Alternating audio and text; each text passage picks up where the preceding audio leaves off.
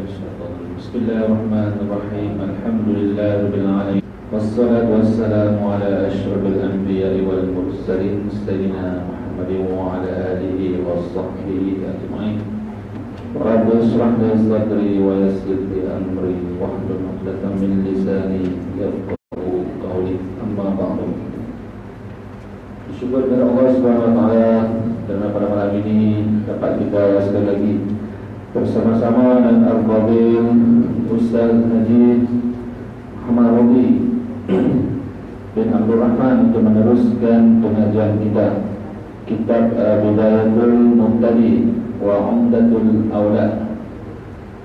Jadi tanpa membuang masa dipersilakan yang berbahagia Ustaz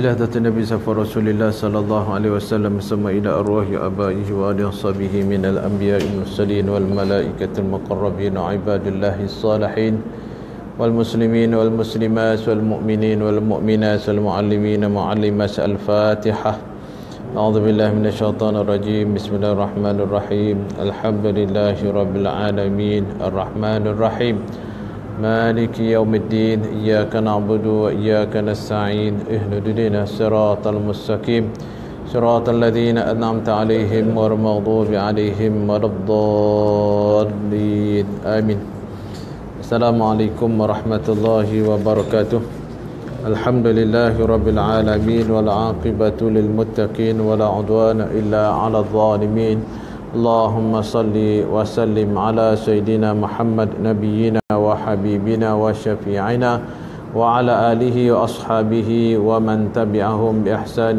إلى يوم الدين سبحانك لا علم لنا إلا ما علمتنا إنك أنت العليم الحكيم اللهم يا مقلب القلوب ثبت قلوبنا وأقوالنا وأفعالنا على دينك وعلى طاعتك وعلى ملة نبيك وحبيبك محمد صلى الله عليه وسلم لا إله إلا أنت سبحانك إنا كنا من الظالمين اللهم اهدنا إلى صراطك المستقيم صراط الذين أنعمت عليهم من النبيين والصديقين والشهداء والصالحين اللهم فقنا في الدين وعلمنا تأويل واهدنا إلى صراطك المستقيم اللهم نور قلوبنا بنور هدايتك كما نورت أرضا بنور شمسك أبدا أبدا برحمتك يا أرحم الراحمين رب اشرح لي صدري ويسر لي أمري واحلل عقدة من لساني يفقه قولي رب يسر ولا تعسر رب تمم بخير أما بعد yang dikasihi saudara muslim majlis yang tuan-tuan puan-puan muslimin muslimat mukminin mukminat yang dirahmati dan dikasihi sekalian Alhamdulillah kesyukuran dipanjatkan kepada Allah Subhanahu wa taala dengan taufik serta inayah daripada Allah Subhanahu wa taala yang terus menggerakkan hati kita memberi kelapangan untuk kita bersama-sama berada dalam majlis ilmu. Mudah-mudahan kita diberi kekuatan untuk beramal dengan ilmu yang telah kita perolehi yang bakal kita perolehi. Mudah-mudahan juga dengan muhasabah kembali dengan uh, kitab Bidayatul Mubtadi ini untuk melihat kembali segala amal perbuatan yang telah kita lakukan bertepatan dengan ajaran Islam yang sebenar ataupun sebaliknya. Bab yang seterusnya bab haid, istihadah dan nifas. Jadi uh, secara khususnya bab ini ialah uh, khusus kepada golongan wanita ataupun perempuan yang melibatkan isteri kita, ibu kita dan anak-anak perempuan kita. Walau bagaimanapun si uh, lelaki juga perlu tahu sebab dia ada isteri dia ada anak-anak perempuan. Maka menjadi satu kewajipan kepadanya untuk mengetahui uh, bab uh, yang kita kata haid istihadah dan nifas. Tengok di sini tuan-tuan. Hmm. haid pada istilah bahasa ialah suatu yang mengalir. Suatu yang mengalir yang masuk di sini ialah darah tuan-tuan itu pada bahasa. Dan pada istilah syarah ialah darah yang ada pada faraj kemaluan perempuan dan tempat keluarnya daripada pangkal itulah kesudahan rahim pada ketika sihat tubuh badannya. Ha, jadi nak kenal darah haid ini ialah keluar darah yang keluar daripada kemaluan orang perempuan. Itu yang pertama. Ni kita akan bahas lagi yang kedua yang keluar tempat yang sama juga dikenali dengan istihadah. Ialah darah penyakit. Darah penyakit ini tempat keluarnya daripada hujung urat yang hampir dengan rahim. Biasanya istihadah ini ialah darah yang keluar melebihi 15 hari. Kita tahu sekurang-kurang haid adalah sehari semalam dan sebanyak-banyak darah haid dikira haid ialah 15 hari 15 malam Masuk yang ke-16 dinamakan istihadah dan dinasihatkan untuk pergi jumpa doktor selepasnya. Ha, kalau masih lagi dah 15 hari tengok isteri kita, tengok anak kita, anak perempuan kita darah dok keluar lagi, bawa pergi jumpa doktor menunjukkan bahawa dia bukan lagi fitrah. Ha, itu darah. Ha, kita kata yang keluar daripada kemaluan isteri kita dan anak perempuan kita dan ibu kita sendiri. Yang darah yang yang ketiganya keluar tempat yang sama dikenali dengan nifas. Ialah darah yang keluar selepas beranak ataupun bersalin. Ha. beranak ataupun bersalin. Ha. nifas ini hanya berlaku orang yang beranak. Sama ada beranak yang cukup bulan ataupun tak cukup bulan. Dia akan keluar darah ini. Jadi kita mazhab kita sekurang-kurangnya satu lahzah dan sebanyak-banyaknya 60 hari. Tapi kebanyakannya adalah sekitar 40 hari sahaja. Kebanyakan uh, wanita atau perempuan sekitar 40 hari. Tapi bagi mazhab syafi'i sebanyak-banyaknya 60 hari. Kalau lebih 60 hari duk keluar juga dikenali dengan istihadah. Itu darah penyakit lah tengok lagi nah Sekurang-kurang umur perempuan yang haid itu 9 tahun. 9 tahun ini ialah tahun hijrah tuan-tuan. Bukan tahun masihi. Ha, Masuk 9 tahun ini tahun hijrah. Bermakna kalau tahun masihi tak sampai Tak sampai 9 tahun. 8 9 8 8 tahun lebih sikit saja kita kata. Ha, jadi maksud sini sekurang-kurang umur perempuan yang haid itu 9 tahun maksudnya 9 tahun hijrah dan sekurang-kurang masa haid itu sehari semalam. Paling kurang haid ada sehari semalam. Jadi budak yang keluar darah haid uh, 9 tahun ni tahun hijri maka dia adalah kalau anak perempuan itu dah dah haid mungkin kita kata wallah alam zaman kita hari ini dengan pemakanan yang berbagai-bagai mungkin dalam 8 tahun pun dah keluar darah tapi mungkin berlaku nadir nah jadi sekurang-kurang darah yang keluar pada isteri kita, anak perempuan kita ataupun ibu kita ialah haid itu sehari semalam. Dan dikenali dengan 24 jam dan sebanyak-banyak masa haid itu ialah 15 hari 15 malam. Dan pada kebanyakan perempuan itu 6 hari ataupun 7 hari. Ha, kebiasaan orang perempuan 6 ke 7 hari. Itu normal sihat. Dan sekurang-kurang suci di antara dua haid itu 15 hari 15 malam. Dia main 15 hari 15 malam. Lepas tu selang 15 hari 15 malam keluar pula. Ha itu kita kata haid lah. Ha, kita dia main 15 hari tak ada 15 hari tu keluar pula 15 hari. Ha itu dikira darah darah haid bukan istihadah. Ha, ha kalau ha?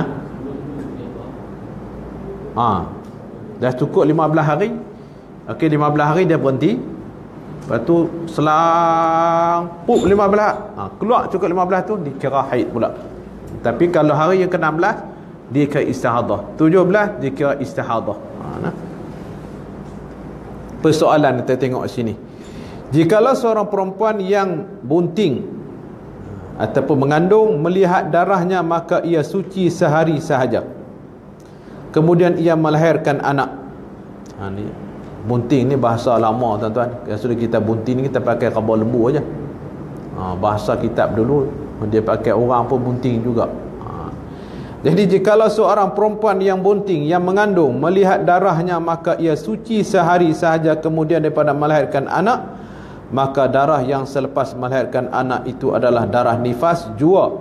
Dan darah sebelum melahirkan anak adalah darah haid. Orang panggil apa? bunting harimau istilah orang tua-tua. Duk mengandung keluar darah juga. Darah haid. Bunting harimau tak tahu macam mana kita tak nak tengok. Tapi istilah yang dipakai lah. Istilah orang tua-tua. Kalau orang perempuan masa mengandung keluar darah haid tu orang kata apa? Bunting harimau. Mengandung. Macam rimau mengandung. Tak nak tengok tuan-tuan? Ha? Ha ha mana harimau ni walaupun dia bunting dia keluar darah. Istilah lah tuan-tuan. Tengok lagi nah. Ha, itu persoalannya kalau tengah mengandung keluar darah dikira darah tu darah haid. Dan demikian juga jikalau perempuan ini di gambar ini nak nampak kata ni saintis tuan-tuan. Ulama fiqh ni sains kalau kita ni nak mengaji ni jumpa doktor pakar pakar puan sakit puan apa semualah. Ada ini garis pandu agama tuan-tuan. Ha? garis pandu agama. Dan demikian juga jikalau perempuan yang nifas 60 hari. Ha, itu maksima. Ha? 60 hari maka ia suci sehari semalam saja. Kemudian ia melihat darahnya maka darah itu adalah darah haid. Cukup 60 hari berhenti. Tak tahu keluar darah. Darah tu darah haid. Dia orang panggil apa? Ada yang lepas tu mengandung terus nanti setahun. Setahun dua kali mengandung. Beranak dua kali. Kan sembilan bulan. Beranak. Lepas beranak tu habis nifas tu mengandung terus berada ha? ha. Mengandung pula. Ada pernah memang berlaku satu tahun tu beranak dua kali. Hmm. dua beradik masuk sekolah. Anak kawan masuk sekolah sekali. Hmm. jadi darah yang keluar selepas darah nifas 60 hari dikira darah tu darah haid. Nah? Adapun darah yang keluar selepas haid 15 hari dinamai is istihadah. Jelas itu ah, nah tentang. Ya?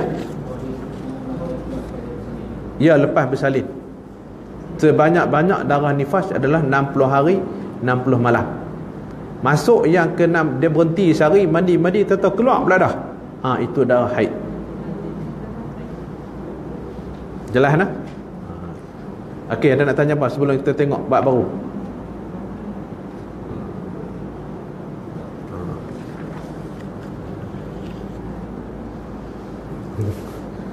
Ah.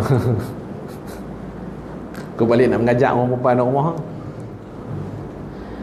ha, Bab yang baru pula Ialah kita tengok haram sebab haid dan nifas. Apabila dah darah haid dan nifas Apa yang agama kita larang kita buat? Ha. Haram sebab haid dan nifas 10 perkara. Mai haid saja Benda ni tak boleh buat. Haram maknanya berdosa kalau buat. Yang pertamanya semayang. Tengah-tengah semayang berasa meleleh Berhenti terus Orang perempuan tahulah Tengah-tengah sembahyang Ay, Rasa pampers basah. Keluar. Tak boleh terus sembahyang dah. Berhenti terus. Sebab kalau terus Perbuatan tu haram Berdosa. Ini biasa Haid. Ataupun orang yang mengandung. Mengandung kadang-kadang turun ayak tu Sebelum nak beranak Dia keluar, turun, panggil darah Keluar darah awal dulu. Ha, Darah tu Cara otomatik Kita kata Batas sembahyang itu yang pertama haram nah. Yang kedua sembahyang ni termasuk apa saja sembahyang. Mayang kita kata yang fardunya, yang sunatnya termasuk semayang jenazahnya. Mana yang haid tadi? Tak kira lah musafir tak apa fardu dan sunat. Sunat tu sama ada fardu tu fardu yang fardu ain atau fardu kifayah. Ha, semayang lah haram bagi yang haid dan nifas. Yang keduanya tawaf. Tawaf. Juga haram. Kalau orang yang perempuan yang kita mazhabnya syafi'i haram tawaf dalam keadaan haid. Tengah-tengah tawaf tahu darah keluar. Boleh terus tawaf? Tak boleh. Berhenti dan tu. Ha, cuma isu orang yang tawaf ini apabila tengah tawaf dia keluar darah apa tindakannya? Dia kena keluar dan dia masih kalau dia dalam ihram dia kira dalam ihram. Lepas tu macam mana Ustaz? Dia nak balik tak selesai tawaf. Ha, maka pada ketika itu makna dia nak kena ada tahlul melakukan damul ihsar. Dam untuk menanggalkan ihram. Kalau tidak ah bagi orang yang macam ni dia kena sembelih seekor kambing tuan-tuan. Maka bebaslah ia daripada ihram tadi. Ya. Ataupun orang yang niat tawaf. Niat umrah tetapi tak dapat sempurna umrah. Ha, dia pergi di Bir Ali ataupun pergi di Ja'rana pergi di Hudaybiyah ataupun di mana. Niat-niat balik-balik dalam pas tak tahu darah haid keluar. Dia adalah ihram. Maka sepanjang ia berada dia adalah ihram. Cuma kalau yang haji dia kena tunggu sampai selesai uh, selesai haid dia dia mandi pergi tawaf dan sa'i.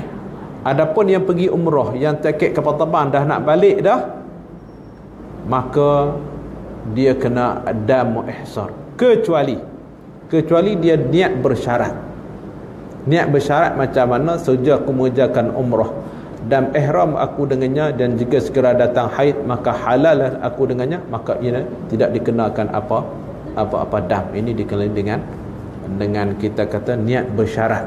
Ini biasa yang mengerjakan umrah.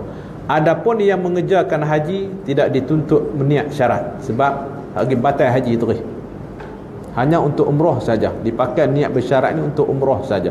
Haji memang tak digalak tak dituntut jadi tawaf sama ada tawaf yang fardunya fardu ini dua yang mungkin kita kita yang mengejarkan haji mengejarkan umrah tu fardu. Walaupun umrah tu umrah sunat tapi tawafnya fardu. Termasuk fardu lagi tawaf ialah tawaf nazar. Termasuk tawaf-tawaf sunat. Yang ketiganya haram bagi orang dalam kena haid dan nifas ialah menyentuh Al-Quran atau menanggungnya tolong ambil Quran sah dia pergi ambil dalam keadaan dia haid maknanya tak boleh haram ya terima kasih masalah yang widak apabila dalam keadaan haid maka tidak dituntut lagi Ha. Mai. Habis. Keluar saja, keluar saja. Dan tak perlu diteruskan. Dan tak berdosa. Tak berdosa. Okey, yang ketiga tadi menyentuh Al-Quran atau menanggungnya. Tanggung Quran, bawa Quran. Tak boleh. Kecuali kita pi nak buang sampah, tuan-tuan, tengok ada orang tok Quran itu ambil dalam keadaan kita tu haid waktu tu boleh ambil tak? boleh ambil untuk nak menyelamatkan Al-Quran nak memulia Al-Quran saja-saja nak ambil nak bawa tak boleh bagaimana yang menyentuh Al-Quran atau menanggungnya? Haram nah? yang keempat membaca Al-Quran melainkan yang dia harus membacanya kerana mengambil berkat. Doa yang menjadi amalan kepada kita. Contohnya kita Bismillahirrahmanirrahim. Kita dah bismillah tu ya Quran tuan ataupun lepas makan alhamdulillahirabbil alamin juga ya Quran tapi dah menjadi doa. Termasuk rabbana atina fid dunya hasanah wa fil akhirati hasanah wa qina adzabannar. Juga itu ayat Quran. Doa kita. Rabbana zalamna. Dalam yang kita kata ayat Quran dia menjadi satu doa kepada kita maka dia ada hukumnya harus di sini. Ha, tapi saja-saja nak baca Quran Ah, tak boleh tuan-tuan. Kecuali ada pendapat ulama kecuali orang yang hafal Al-Quran. Hafal Al-Quran kalau dia tak ulang dia akan lupa. Ha. Mereka ini diharuskan. Diharuskan untuk nak jaga Al-Quran supaya tak lupa. Untuk orang awam tak boleh. Ha? ha doa boleh. Untuk orang awam apa saja doa walaupun ayat Al-Quran sila. Ha, tidak menjadi satu satu kesalahan. Ya hmm.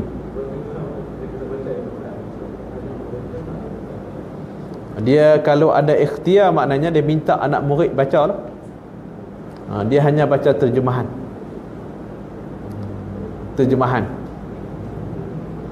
Mungkin dia ada teknik lain lah. Ha, cuma ada fatwa daripada Azhar hukumnya harus bagi yang periksa. Contohnya dalam peperiksaan dia bukan nak tunggu periksa nak tunda tunda tak ada dah. Periksa Quran.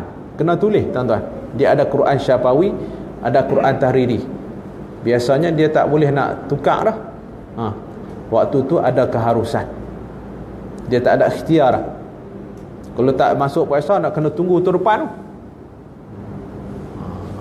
belanja lagi kita kata lagi banyak. Ha, itu ada keharusan. Tapi masuk sini nak baca saja-saja nak baca ha, ini tidak maknanya tidak uh, dibenarkan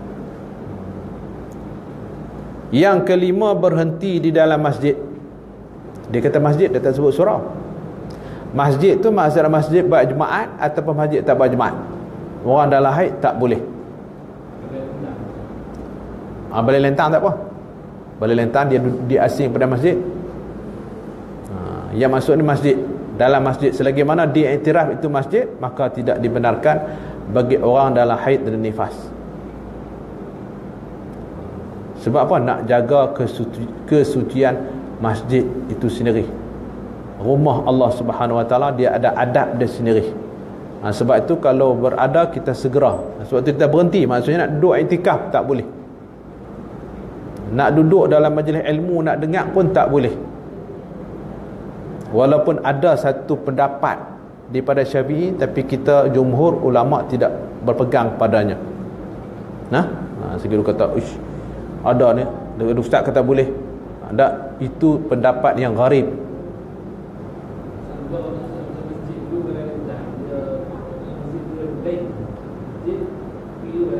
hmm.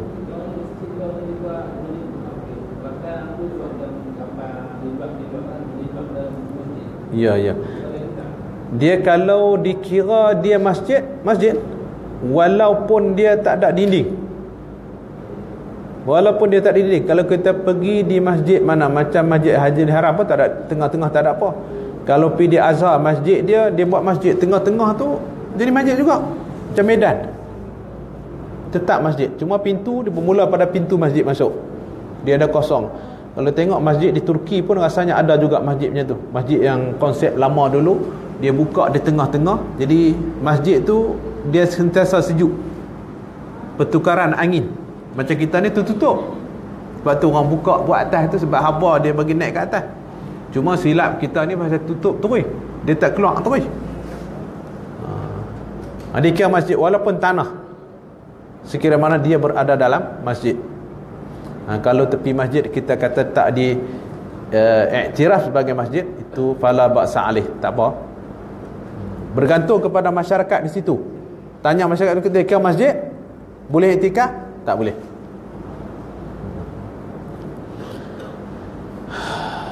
Yang keenam berulang alik di dalamnya di dalam masjid.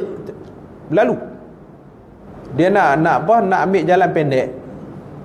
Nak pusing kalau mungkin jauh lalu kalau masjid macam kita masjid haram tu nak pusing no jauh lalu dalam masjid haram untuk apa untuk nak balik ke hotel dia juga adalah perbuatan yang diharamkan Bagaimana bagi orang dalam keadaan haid, bagi orang yang dalam keadaan nifas.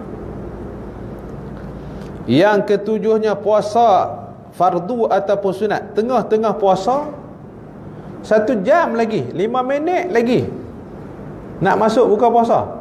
Tak tahu bocor. Puasa tu kena qada. Walaupun lima minit. Nah, kena faham tu. Ha, tengok tu hidup tunggu tunggu nak buka puasa 5 minit tu bocor. Maka secara automatik puasa tu batal. Batal. Dan nak puasa pun tak boleh. Nak puasa pun tak boleh. Duk tengok kita haid. Tak apa tak kering lagi. Nak niat. Nak niat masuk waktu malam lah. Pun tak boleh pakai juga tuan-tuan. Ha, jadi sebab itu dia kata puasa sebadan sunat tapi fardu haram bagi dalam keadaan haid tetapi wajib mengkodokkan puasa yang fardunya. Ha, kalau tertinggal tadi macam kata 5 minit lagi nak buka puasa tu bocor. Maka puasa tu wajib dikodokkan. Hak fardu lah sunat tak? Mungkin kita bulan rejab ni duduk puasa orang ni. Duduk ambil puasa rejab syakban ramadan tiba-tiba berlaku tapi dapat pahala tak? Allah insya-Allah Allah akan beri pahala sampai yang hari. Saat kita itulah dekat 5 minit. Allah nak tak bagi pahala dah. Allah bukan buat nanya zalim sampai ke tahap itu tuan-tuan. Pastinya Allah akan memberi ganjaran ke kecewa lah. Allah 5 minit lagi. Ha, seolah macam tu. Dah Allah maknanya insya-Allah. Allah yang menjadikan Allah yang beri. Allah tak buat nanya pada hambanya itu yang ketujuhnya yang ke-8 disentuh oleh suaminya di antara pusat dan lutut. Ha, waktu tu jangan pergi dua gambar. Haram lah bagi orang perempuan pergi raba di antara pusat dengan lutut dia. Siapa tu kerja untuk lelaki lah. Nah.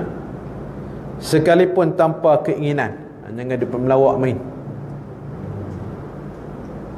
Nah, faham lagi? Ha. Nah. Yang pergi duk gosok main kot tu. Yang ke-8 tu nah. Yang tok laki, tok laki ni. Peringat sikit. Yang ke-9 mandi meniatkan mengangkat hadas sedangkan ia dalam berhadas. Kita kata sekurang-kurang haid sehari semalam. Tujuh hari paling banyak 15 hari malam. Pergi duk mandi ke celah tu. Mandi celah tu Dikat pakai tak? Tak pakai. Cuma di sini ada satu lagi bab dia bagi fatratun naqa. Ha, fatratun naqa ini bagi orang yang nak tawaf boleh apabila darahnya yang berhenti melepasi 24 jam. Ha, dia tawaf, tawaf, tengok-tengok darah sebab tu bagi orang fatratun naqa ini yang nak mula tawaf tengok dulu cukup 24 jam tak? Ataupun dia tawaf dia mandi dah. Tengok dia rasa seyakin tapi kena syarat yakin. Yakin dah kering betul-betul dia mandi. Mandi pergi tawaf. Dianjurkan pergi tawaf. Lepas tu balik di rumah.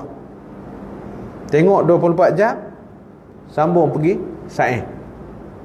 Ataupun pergi tawaf pergi sa'i terus pun tak apa. Tapi nak gunting rambut tunggu 24 jam dulu Cukup 24 jam baru gunting. Kalau tak cukup, dia masih, dia masih dikira dalam keadaan haid. Tawaf kita tak pakai lah. Kalaulah takdir dia pergi tawaf, pergi sa'i, lepas tu dia gunting terus. Sedangkan tidak melepasi 24 jam, maka tiba-tiba haid datang, darah keluar belada. Maka dikenakan dam kepadanya, dam bergunting dan si dia tu terus berada dalam ihram. Ha, kacau juga tuan-tuan. Ini isu orang yang mengejarkan umrah. Yang mengejarkan umrah. Jadi sembilan mandi menyaniat, meniatkan mengangkat hadas sedangkan dia dalam berhadas maka tak tak boleh. Ha. nah? Yang ke sepuluhnya talak oleh suaminya pada ketika itu. Tak sah haram perbuatan tu perbuatan yang haram menceraikan isteri dalam keadaan haid menceraikan isteri dalam keadaan nifas tuan-tuan marah tahu mana pun sabak Ustaz ha ha Ya, setengah menyatakan begitu. Tapi perbuatan itu adalah perbuatan yang haram. Macam kita kata semayang Curi kain lah. Mayang sorak sah mayang tu. Tapi haram saya curi kain orang. Nampak dah situ? Perbuatan tu haram. Perbuatan menceraikan suami menceraikan isteri dalam haid adalah haram. Menceraikan isteri dalam nifas adalah haram. Tengok lagi. Dan apabila sudah putus haid ha bini kita ke mak kita putus haid. Ni orang putus haid ni yang umur biasa orang perempuan apa umur apa tak tahu. Orang belakang tirai 60 ke atas ada lagi kah? Ha tak ada dah. Tak ada dah. Ha, terima kasih.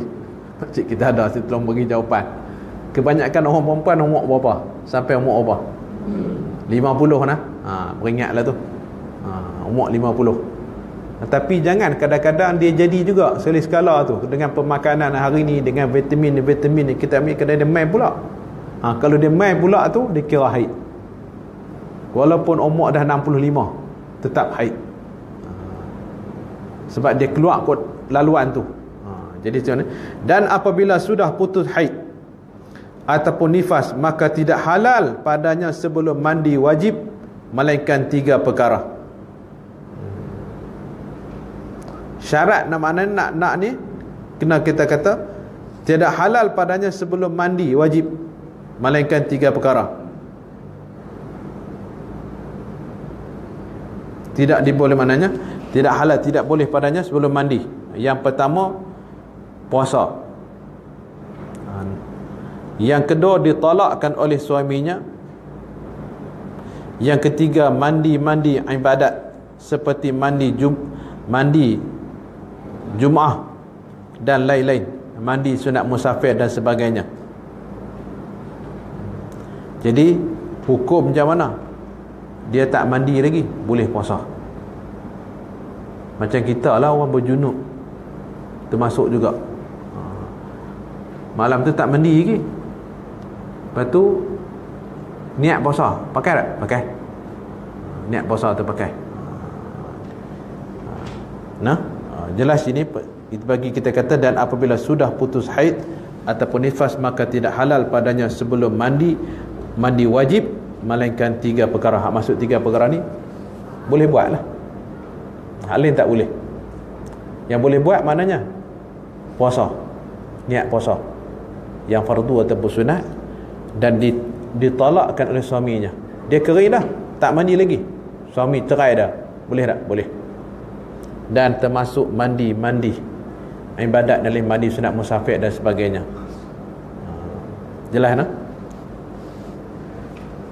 cuma kita ulang kaji ya tuan-tuan. Benda ni dah dah menjadi amalan harian kita dah. Cuma takut-takut ada tersangkut tak mana. Macam sampah lah.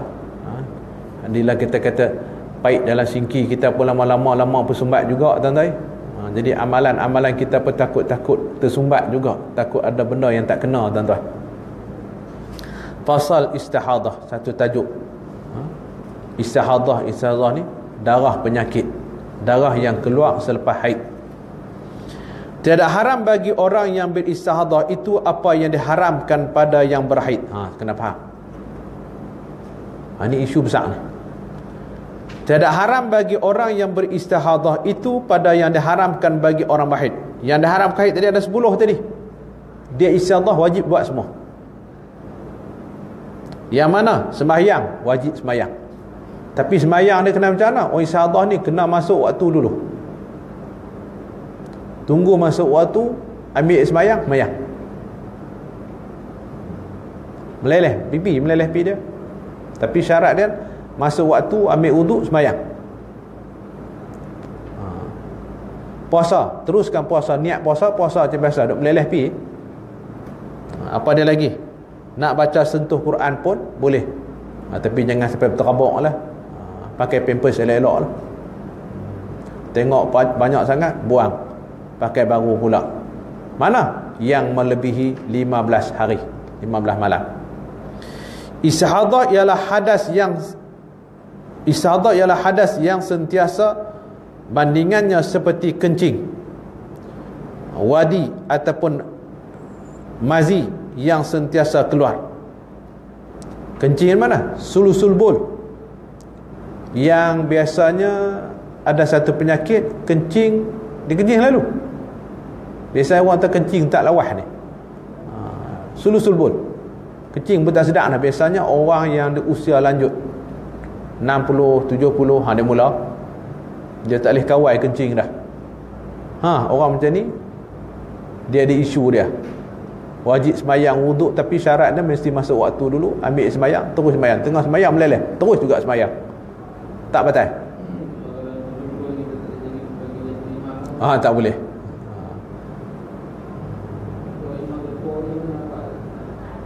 Tak kot kadang-kadang mungkin dia kemas kot. Tanya tengok lah ha. kalau sul-sul nak suruh jadi imam ni tak tak boleh lah. Ha, cuma cek tengok lah nah? Ha.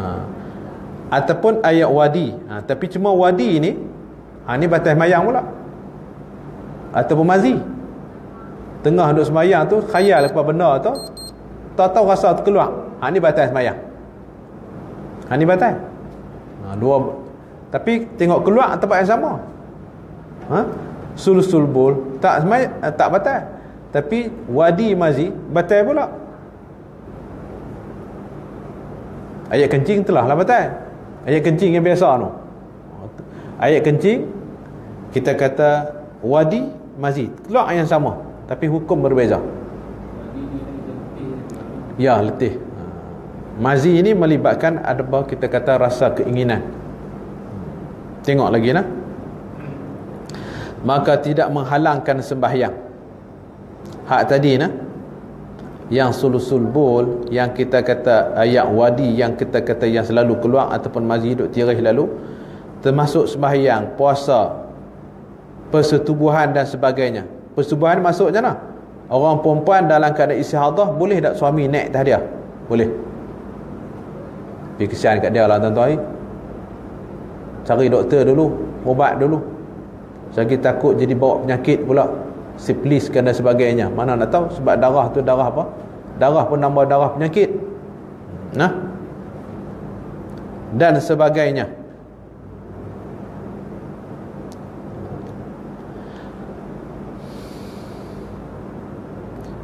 Wajib bagi perempuan yang beristihadah itu membasuh farasnya, kemaluannya serta darah yang di dalamnya. Di dalam kemaluannya. Maka disumbat. Ha, di sebelah ni? Disumpal. Ditampal. Kalau ni pakai pampers tu lah. Pada farajnya kemaluannya dengan kapas. Atau sebagian sebagainya kemudian ia ber, bercawat. Pakai spenda lah ni bahasa dulu ni zaman spenda tak ada lagi. Ikat kainnya bercawat melainkan jika sakit disebab terkurang eh, terkurang darah itu maka harus ia meninggalkan sumbatan itu jua ataupun ia berpuasa. Maka tak kala itu diwajibkan tidak menyumbatkannya. Kalau duduk pergi sumbat sakit biar pergi kat dia pergi duduk rehat lah tuan-tuan. Ia hanya bercawat saja pakai seluak saja. Maka ia mengambil wuduk ataupun tayamum pada tiap-tiap fardu dalam waktu itu sahaja ha ni dia. Hak kita baca dah sebelum ni bab wuduk bab tayamum ha, nak semayang. Nak semayang tunggu masa waktu dulu ambil wuduk teruskan semayang tayamum. Kalau kita kata apa?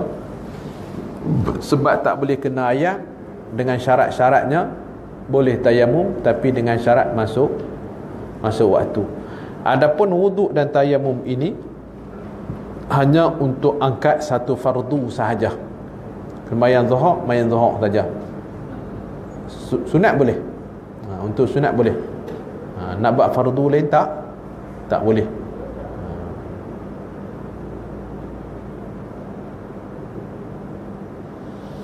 maka ia mengambil wuduk atau tayamum pada tiap-tiap fardu dalam waktu itu sahaja.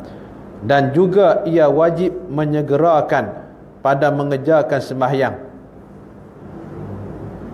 Tetapi tidak maaf terlambat kerana untuk kepentingan sembahyang seperti menutup aurat. Tak mengapa sebab apa? Lambat sikit cari kain kain nak apa tengok tengok kain tu koyak. Nak cari kain tu ha tu tak apalah. Terlambat kerana apa cari kain nak tutup aurat. Macam kita kata kok kemiskinan tunggu tok laki apa? Tok laki balik daripada masjid tumpang nak pakai kain plekat dah ha, kain dia tu kalau pakai tak tutup aurat sempurna. Ha tu boleh. Nah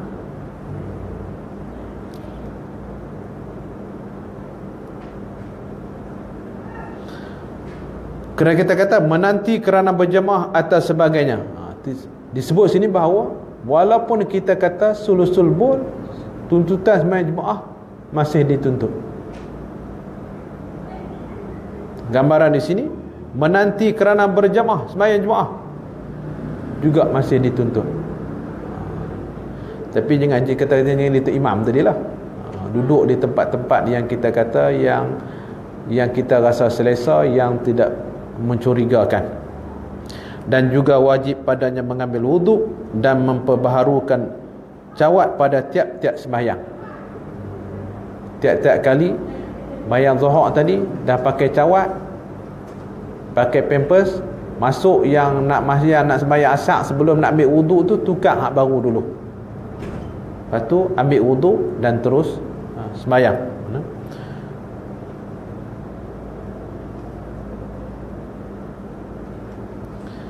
Hukum bagi kencing. Dia tulis tu Bisil eh? Yang terjemah dia tulis apa? Ha? Bisil. Wadi. Kita bahasa ni kita kata subul. Yang berjenis apa-apa yang, yang yang yang selalu keluar. Dan mazi adalah seperti hukum istihadah sahaja pada segala perintah yang tersebut. Kalau yang kencing tak lawas Kalau yang jenis kita kata yang jenis jenis keluar ayat wadi selalu ni ha, kacau juga tuan-tuan. Saat keluar saat keluar. Ha. tak tahu. Mungkin ada penyakit macam tu tuan-tuan. Ataupun yang kita kata yang mazi. Mungkin pemakanan dia apa semua kita tak tahu kita tak pernah tuan-tuan. Tapi ulama fiqh dah bahas tuan-tuan. Ha, ini tentang darah istihadah mungkin pada isteri kita mungkin pada anak-anak kita. Dah faham sebab wala, dia walaupun dia keluar darah tapi wajib semayang wajib puasa dan boleh tawaf sa'i. Sa'i tak ada masalah tawaf pun boleh tuan-tuan. Nak baca Quran pun boleh. Nak bersetubuh pun boleh. Tapi kesian dekat dia lah. Yang mana? Yang kita dalam keadaan istihadah tadi. Ada apa nak tanya apa? Sebelum masuk tajuk baru. Bab istihadah ni tapi ke dalam perbahasan di sana darah ni sebenarnya istihadah ni dia tak sama dengan darah haid. Kalau dia lain sikit. Segi kalau lah. Ha, dia pun dah lain sikit. Jelah. Ha, sebelum kita masuk. Okey, boleh masuk bab nifas. Tengok bab nifas pula. Sekurang-kurang nifas itu sekejap sahaja dan sebanyak-banyaknya hingga 60 hari 60 malam dan kebanyakan perempuan. Nifas itu adalah 40 hari. Kebanyakan perempuan 40 hari. Paling maksima 60 hari. Ha, ini biasanya berlaku orang yang beranak diharamkan kepada perempuan yang bernifas itu apa yang diharamkan kepada perempuan yang bahid seperti yang telah disebutkan sebelum ni yang 10 perkara itu tak boleh. Jadi haram pada haid haram pada pada nifas tuan-tuan. Tengok lagi. Wajib ke atas perempuan yang balik dan yang belum balik mengetahui segala hukum ini. Ini fardu ain tuan-tuan. Sebab tu kita nak kena ajak kat isteri kita dan anak-anak perempuan kita. Hukum ni. Ha, jadi kalau kita sekolah ni sukatan ni elok baik masa darjah tiga lah. Kalau nak buat sukatan pengajian di sekolah darjah tiga ajak siap-siap. Sebab umur 8 tahun dah keluar haid dah.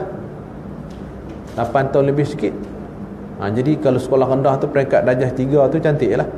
Ya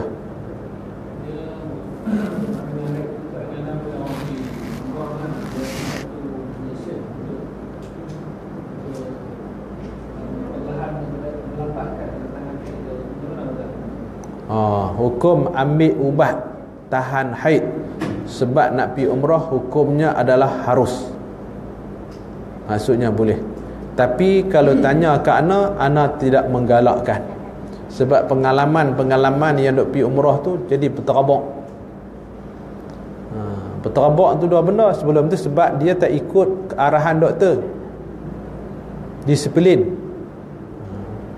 Yang kedua kita pi duk belat. Pi duk sekat. Hak semula jadi.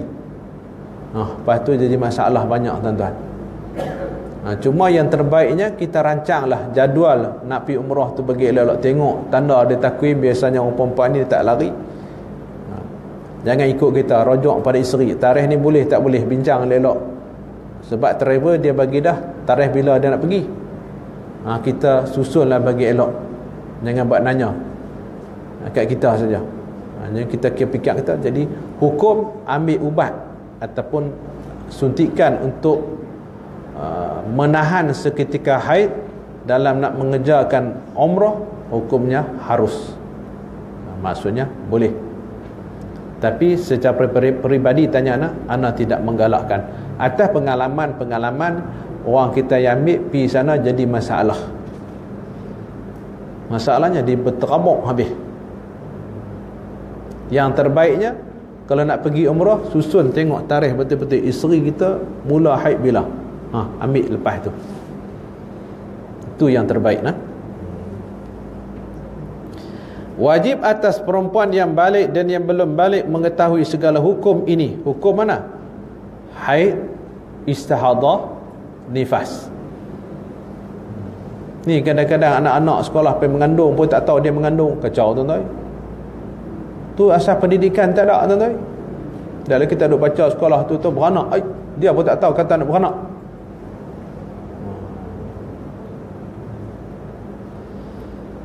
Dan wajib atas walinya. Ha, kita pak ajak pada anak perempuan wajib. Termasuk suami ajak kepada isteri hukumnya wajib. Mengajarkan hukum tersebut.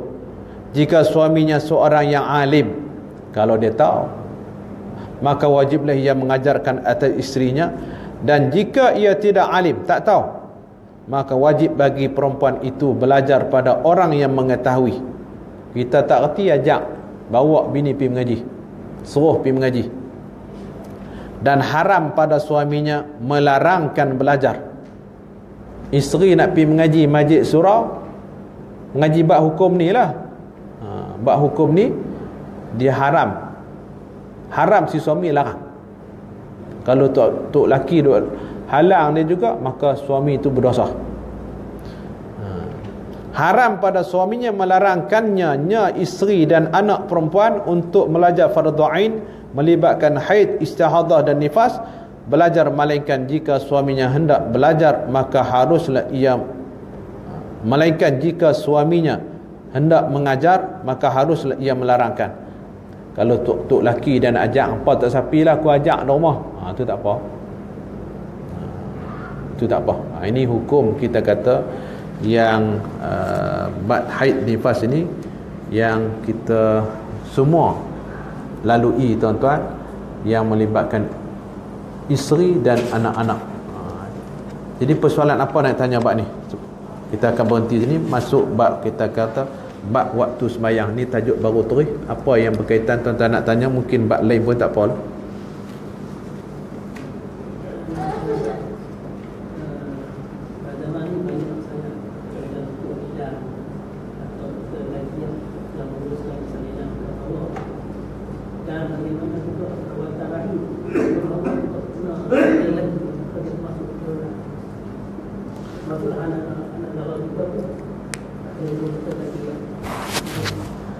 Sekali lagi tanya isunya. Tak apa jelas tadi. Ya baik.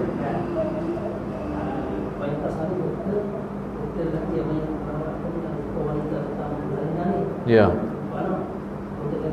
Ya.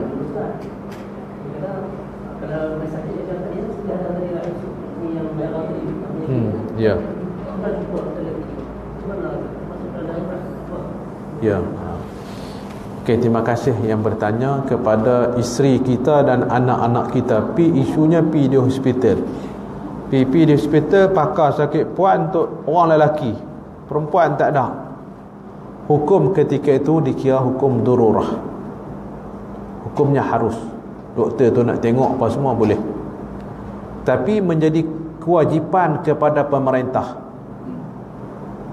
Berdosa tuan-tuan kalau pemerintah ni kerajaan duk biak kira doktor lelaki saja pergi duk selak tengok hak bini kita tengok anak dara perempuan kita tidak ada satu usaha untuk menambah doktor perempuan kerajaan tu kerajaan haram. Faham tak kerajaan haram? Dan ini melibatkan agama. Jadi menjadi kewajipan menjadi tanggungjawab kepada kerajaan menyediakan uh, doktor-doktor khusus yang melibatkan orang perempuan Orang perempuan untuk orang perempuan. Pada asas hukumnya harus. Tapi usaha tu perlu. Mau dipakai dua ada Tak apa biar pi lah. Tak boleh tuan-tuan. Dia menjadi dah menjadi Fardu kifayah kepada orang perempuan Untuk belajar secara khusus. Kita kata uh, Yang berkaitan dengan perempuan lah Sakit khusus untuk orang perempuan jadi berbalik pada tadi kita pergi bawa isteri kita, anak kita pergi di hospital, doktor ada perempuan dah tak ada. Yang ada doktor lelaki. Anak kita sakit, isteri kita sakit, ketika itu harus harus. Cuma tengok ada jadi kes dah tuan-tuan. Hak di hospital mana di hospital sana bayarkah yang doktor lelaki itu yang dan main dengan bini orang habis dah tuan-tuan. Ha, tu agama ni menjadi hak ni tanggungjawab bukan kita tuan? Tanggungjawab kerajaan? Kalau kerajaan mengekalkan tu kerajaan tu haram. Berdosa. Kerajaan buat dosa. Sedangkan dia boleh menyediakan. Boleh pilih kamu ni kena jadi pakar perempuan. Maksudnya orang perempuan lah bagilah. Kepada orang perempuan beri rangsangan bayar duit dan sebagainya. Tanggung biasiswa itu tanggungjawab kerajaan. Kalau dia tak buat kerajaan tu berdosa Walau bagaimanapun dah tak ada Yang ada adalah kisah hukumnya harus. Itulah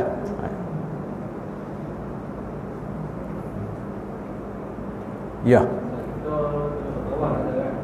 Ha, buat tawaf lagi.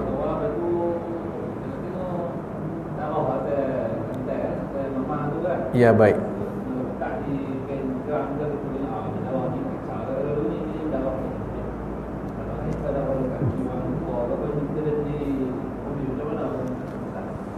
Ya, terima kasih bertanya. Isu di di, di Mekah lagi masa tawaf.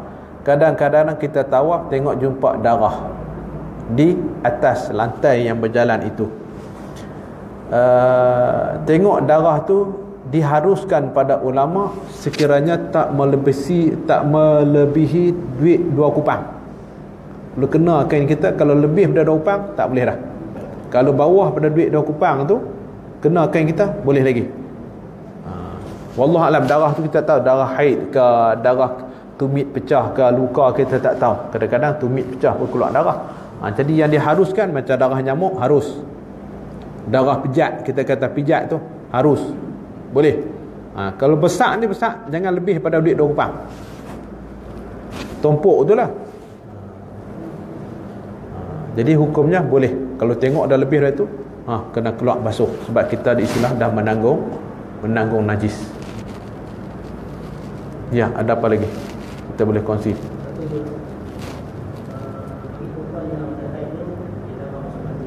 Ya, baik.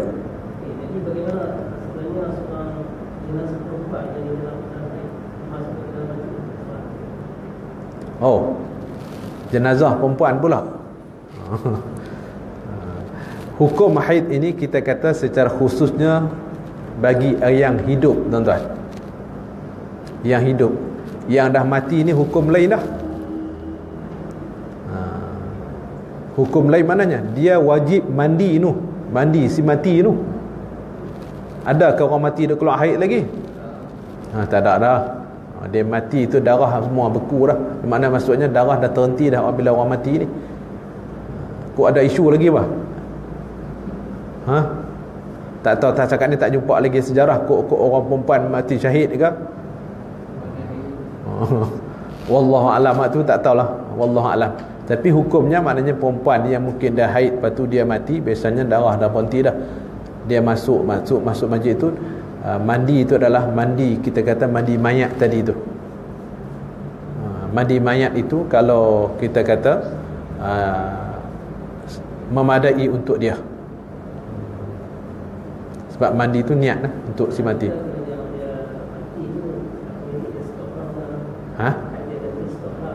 Ah, biasanya dia stop dah darah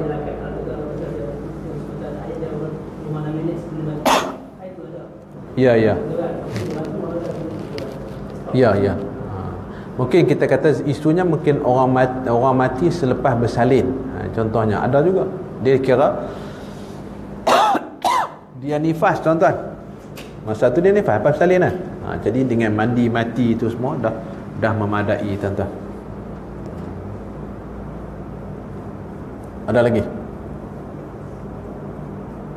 Mana nak tahu?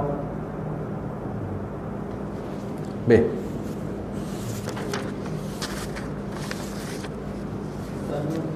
Orang perempuan ada perempuan. Biasa ni masalah orang perempuan.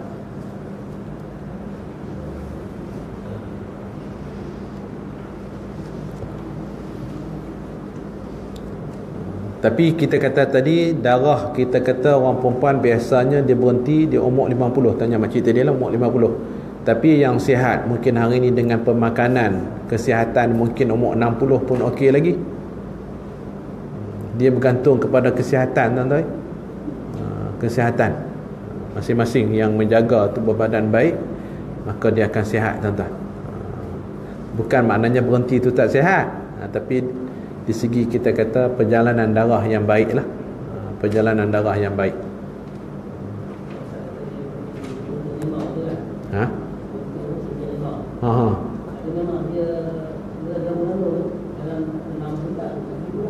Hmm. Oh. Keluar. Hmm. Oh. Ha tu dikira darah haid nah. Ha, kalau orang mengandung keluar darah dikira darah tu darah haid. Kita tak pernah tengok Allah alam cuma baca dalam kitab sajalah. Ha, doktor tak boleh terima lagi. Oh. Allah Akbar. Maknanya mana doktor bab fiqh ni mengatasi doktor lah. Sebab itulah kita kata Islam ni apa yang Nabi ajak ni kadang-kadang uh, daripada luar kemampuan otak kita. Ni Nabi ajak, Nabi yang suruh ada pasti maknanya. Cuma saintis pada hari ini apabila mereka tidak beriman dengan Allah, dia kira ilmu saja. Ha, sebab tu dalam doktor-doktor hari ini bab uh, ruqyah, bab syifa, depa tak percaya tuan-tuan. Berkira ubat depa saja. Depa beriman dengan apa? Dengan ubat kapsul depa tu. Ubat dadah depa. Cara ruqyah ni depa ayat-ayat syifa ni depa tak ada amat malang lah kalau orang Islam sendiri seorang doktor yang tidak beriman dengan ayat-ayat syifa ayat-ayat perawat yang Nabi baca yang diamalkan oleh para sahabat amat malang tuan-tuan ini masalah kita hari ini kesan sebab apa? sebab kita memisahkan agama Islam itu dalam pendidikan. Itu puncanya memisahkan Islam ilmu Islam dalam pendidikan. Ha, itu puncanya. Wallahu alam tuan-tuan. Jadi mudah-mudahan apa yang bila kita kongsi bersama pada malam ini untuk manfaat kita bersama sebagai semakan kembali untuk diri kita dan untuk anak isteri kita ha, dalam menjaga syariat menjaga ketetapan-ketetapan yang ditentukan oleh Allah Subhanahu wa taala. أعوذ بالله من الشيطان الرجيم بسم الله الرحمن الرحيم اللهم فقنا في الدين وعلمنا تأويل واهدنا إلى صراطك المستقيم اللهم أرنا الحق حقا وارزقنا اتباعه وأرنا الباطل باطلا وارزقنا اجتنابه اللهم إنا نعوذ بك من علم لا ينفع ومن قلب لا يخشع من نفس لا تشبع من عين لا تربع ومن دعاء لا سجاب له ربنا عليك توكلنا وإليك أنبنا وإليك المصير اللهم اجعلنا من أهل القرآن اللهم اهدنا بهداية القرآن اللهم أدخلنا الجنة بشفاعة القرآن اللهم نور قبورنا وأبداننا ووجوهنا بنور القرآن اللهم آمين آمين والحمد لله رب العالمين من عمل صالحا فلنفسه ومن أساء فعليها wa ma rabbuka bidhallalil abid wa billahi tawfiq wal hidayah wassalamu alaikum warahmatullahi wabarakatuh.